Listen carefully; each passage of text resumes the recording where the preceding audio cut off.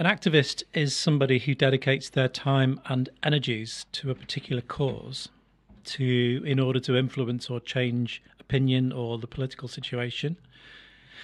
And what makes somebody an activist as opposed to somebody who's just politically interested and puts some of their time into those interests is the fact that it is my uh, entire reason for being.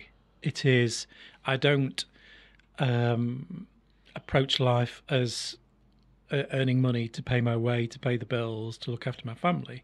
That becomes a secondary issue because I am not putting my own financial well-being at the at the top of the list. The top of my list is my activism, is what I do to try and change the political situation. So that's what defines me as an activist.